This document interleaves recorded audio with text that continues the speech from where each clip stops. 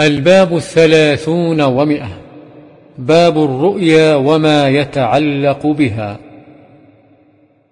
وعن أبي هريرة رضي الله عنه قال سمعت رسول الله صلى الله عليه وسلم يقول لم يبق من النبوة إلا المبشرات. قالوا وما المبشرات؟ قال الرؤيا الصالحة. وعنه رضي الله عنه أن النبي صلى الله عليه وسلم قال إذا اقترب الزمان لم تكد رؤيا المؤمن تكذب ورؤيا المؤمن جزء من ستة وأربعين جزءا من النبوة متفق عليه.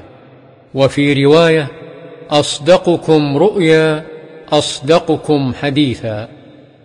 وعنه رضي الله عنه قال قال رسول الله صلى الله عليه وسلم من رآني في المنام فسيراني في اليقظة أو كأنما رآني في اليقظة لا يتمثل الشيطان بي. متفق عليه.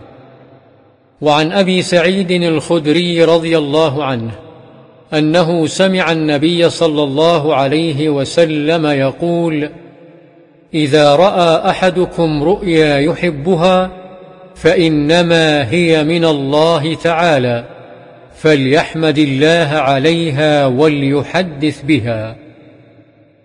وفي رواية فلا يحدث بها إلا من يحب وإذا رأى غير ذلك مما يكره فإنما هي من الشيطان فليستعذ من شرها ولا يذكرها لأحد فإنها لا تضره. متفق عليه. وعن أبي قتادة رضي الله عنه قال قال النبي صلى الله عليه وسلم الرؤيا الصالحة وفي رواية الرؤيا الحسنة من الله. والحلم من الشيطان. فمن رأى شيئا يكرهه فلينفث عن شماله ثلاثا وليتعوذ من الشيطان فإنها لا تضره. النفث نفخ لطيف لا ريق معه.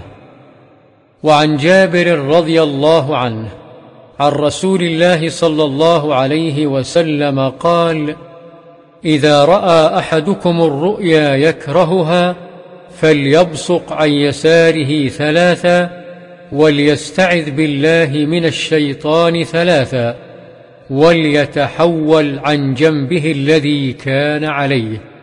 رواه مسلم. وعن أبي الأسقع واثلة بن الأسقع رضي الله عنه قال قال رسول الله صلى الله عليه وسلم إن من أعظم الفرى أن يدعي الرجل إلى غير أبيه أو يري عينه ما لم تر أو يقول على رسول الله صلى الله عليه وسلم ما لم يقل رواه البخاري